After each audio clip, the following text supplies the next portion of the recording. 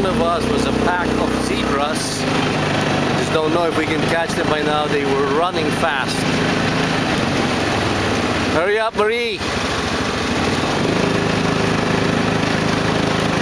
There they are on the left.